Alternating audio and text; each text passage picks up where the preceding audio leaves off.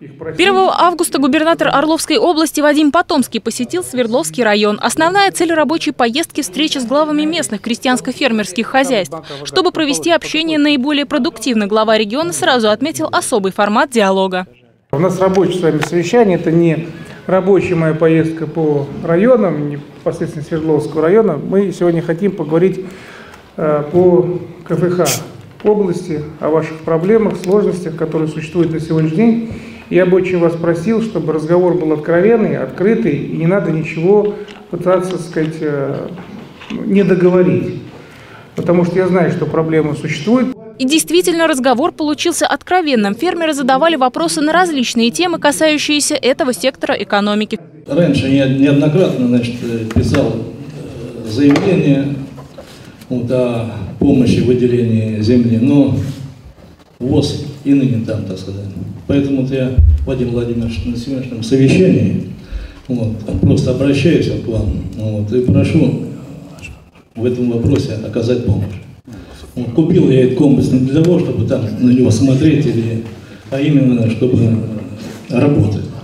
И люди, которые раньше работали на нем в, в этой деревне, сейчас оказались безработными, тоже просили, чтобы они не сидели сложа руки, а трудились. Как оказалось, данная проблема имеет глубокие корни и требует решения в первую очередь с юридической стороны. Брал в аренду землю муниципальную. Брал, сколько ему давали, сколько он хочет. В результате многие, ну не многие, а часть из них разорились. На земле практически не работают. И отдают в субаренду.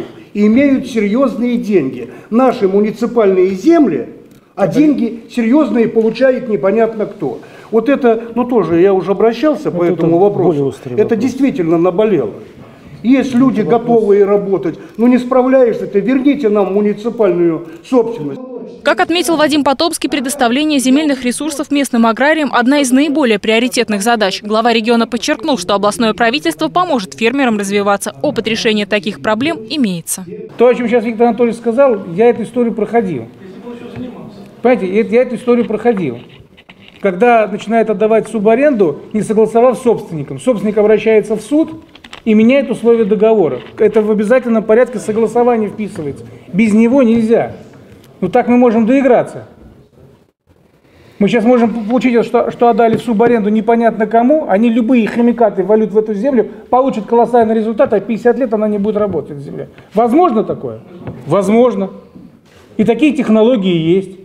Технология выжженного поля называется. Как выяснилось в ходе открытого разговора, нерешаемых проблем у аграриев нет. И находя точки соприкосновения, областное правительство совместно с фермерами будут искать выход из любой ситуации. Ведь крестьянские хозяйства – исключительная часть аграрного сектора с особым бережным отношением к тому краю, где живут и работают.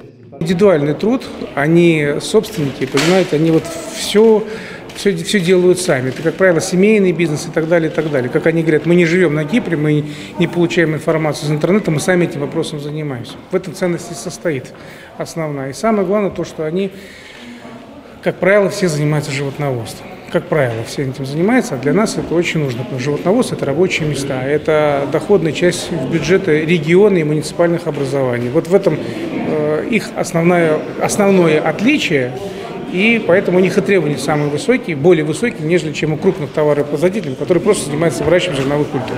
Да, этой встречи вопрос, конечно, решался очень э, слабо, практически буксовал на месте. Вот. Но на эту встречу мы возлагали большие надежды и думаю, что губернатор, вот, он окажет нам в этом вопросе помощь большую. Вот. Ну и мы, соответственно, тоже не останемся в стороне, а активизируем свою работу, вот, будем увеличить поголовье, надои.